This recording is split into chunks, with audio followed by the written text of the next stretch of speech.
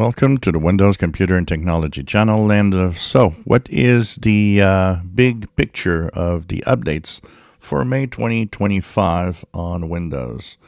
Well, first of all, for all Microsoft products, Microsoft issued a total of 78 security updates for the different Microsoft products and services. That includes Office and many other uh, things, and five separate security updates for non Microsoft issues, which, uh, for example, Chromium. So, what are the different versions of Windows affected by and how many vulnerabilities? So, of course, it is Patch Tuesday, so go and head on to your settings and to Windows Update if you haven't done so. Make sure that you have the latest update uh, Windows 10, Windows 11. So in Windows 11 24H2 KB5058411 here. Uh, it has uh, for Windows 10 version 22H2 34 vulnerabilities. Three are critical, 31 important. So those three critical are probably zero days that we're going to find more information about. Um, so, and 31 important. In Windows 11 23H2, 35 vulnerabilities, 3 critical, 32 important.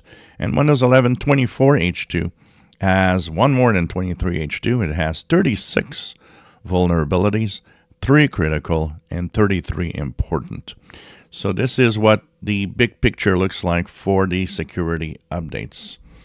So um, if we look at uh, the more of the details of the security updates, there's uh, quite a few updates for some of the uh, features of um, Copilot plus PCs, also, uh, which is something new.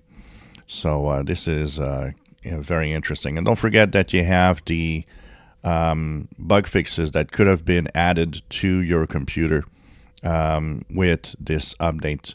So uh, this is going to be interesting to look at uh, for uh, those if you had issues or anything. There could be some fixes in here uh, for sure.